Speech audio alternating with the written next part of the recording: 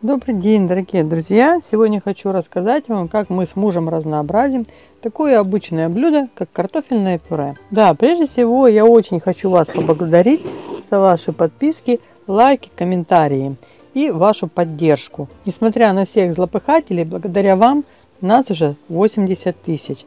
Спасибо вам огромное. Оставайтесь на нашем канале.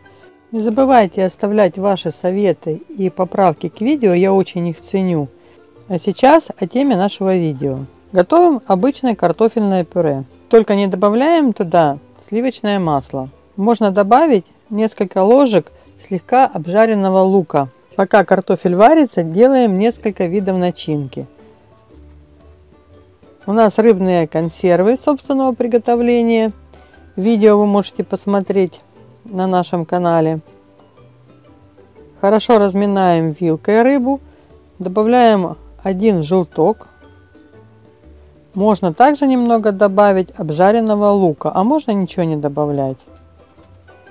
Еще у нас сыр, любой, нарезанный брусочками.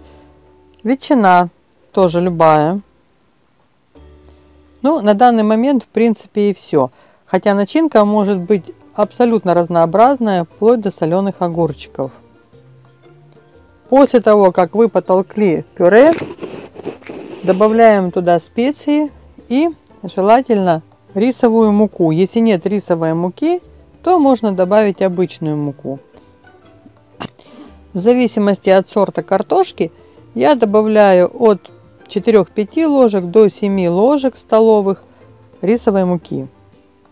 Да, и не забудьте про соль. Картофель хорошо перемешиваем. Как я уже сказала, для начинки мы взяли сыр и ветчину. Можно использовать капусту, если у вас есть тушеная, или даже немного квашеная, предварительно отжав сок с нее.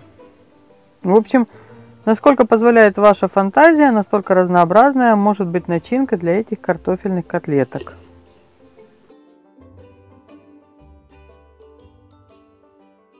А дальше совсем уже просто. Формируем котлетки, заворачивая внутрь как по отдельности нашу начинку, так и комбинируя ее между собой в различных вариантах. Допустим, вот у нас есть отдельно рыба. Рыбу можно скомбинировать с сыром. Можно добавить отдельно сыр, а можно добавить сыр с ветчиной. Таким образом у вас получится разнообразное и очень вкусное блюдо, которое можно есть не только горячим, но и холодным. Потому что вы же все равно, бывает, делаете картофельное пюре. Но потратьте еще минут 10-15 для того, чтобы сделать что-нибудь новенькое и порадовать и угостить своих родных и близких.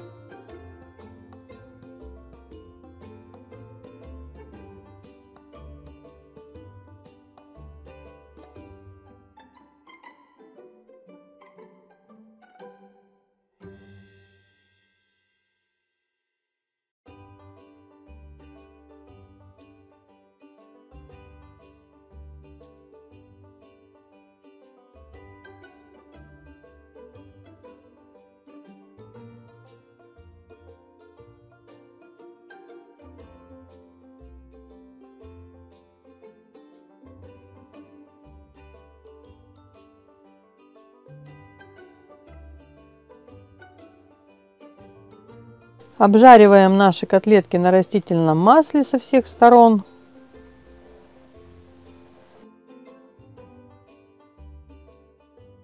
Выкладываем на салфетку, чтобы убрать лишний жир.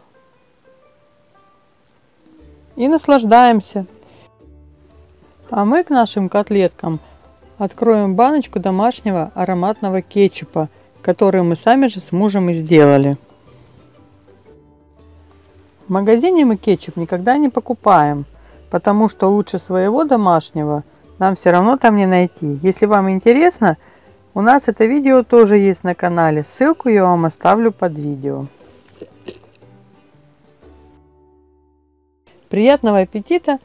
Подписывайтесь на наш канал. Всего доброго, до новых встреч, до свидания.